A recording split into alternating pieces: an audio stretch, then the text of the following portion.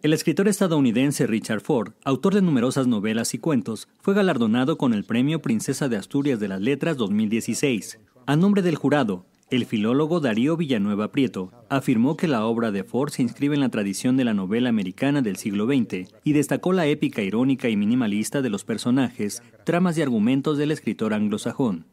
El cuidado detallismo en las descripciones, la mirada sombría y densa sobre la vida cotidiana de seres anónimos e invisibles, conjugan la desolación y la emoción de sus relatos.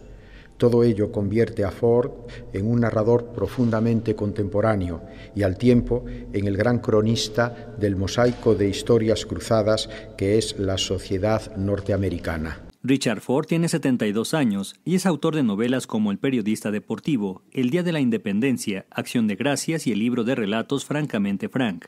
Ford se convirtió en el sexto de los ocho galardones internacionales que convoca anualmente la Fundación Princesa de Asturias y que este año alcanza su 36 sexta edición. Notimex.